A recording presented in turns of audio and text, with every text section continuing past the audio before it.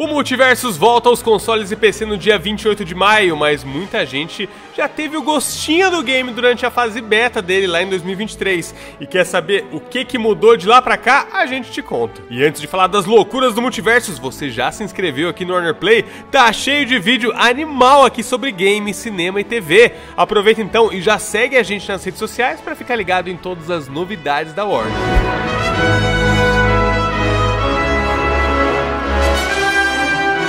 Primeira pergunta de quem já jogou o beta de Multiversos é: o que eu já desbloqueei vai valer para a versão final? E a resposta é sim todo o conteúdo que você ganhou ou comprou antes do dia 25 de junho de 2023, que foi quando o beta foi finalizado, vai ser transferido para a versão de multiversos que chega no dia 28 de maio. Isso inclui Glimiums não utilizados, fichas de passe de batalha, ingressos de personagens e outros itens cosméticos do jogo. A versão de lançamento do Multiversos vai ter mudanças no tipo de moedas usadas para adquirir itens, habilidades e personagens. As moedas se chamarão moedas de vantagens, moeda de lutador, prestígio e Glimium. Com as moedas de vantagem você libera habilidades, com a moeda de lutador você compra lutadores, o prestígio é uma chance de conseguir itens cosméticos raros e o Glimion continua sendo a moeda geral do game.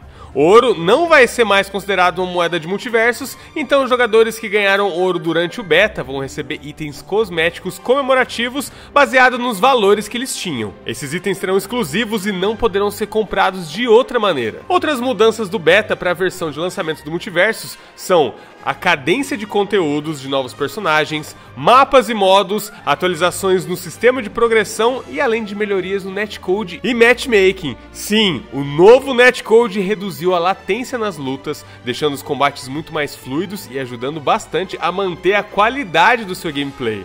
O jogo também traz mudanças no seu visual, lembrando que ele foi recriado do zero com a Unreal Engine 5, o que já garante gráficos bem legais. E essa mudança no visual também traz alguns momentos que podem ajudar o seu gameplay, como a tela de se aproximar do personagem, deixando ele bem maior sempre que você está perto do seu oponente. O gameplay também está um pouco mais ágil, com respostas mais rápidas dos controles, mas sem perder aquele clima caótico do jogo. E o Multiversus também tem novos modos de jogo. Tem o modo Fenda, que é um PvE com uma história envolvendo os personagens do jogo e também tem vários minigames. Ó, chegando no final de cada etapa do modo Fenda, você ainda vai poder enfrentar chefões especiais como Coringa com um gameplay diferente. E além disso, novos personagens estão chegando no Multiversus com a versão de lançamento, como o terrível Jason, o guarda banana de Hora de Aventura e o agente Smith de Matrix. Esses personagens vão fazer parte do passe de batalha e tem uma surpresa para quem jogou o beta.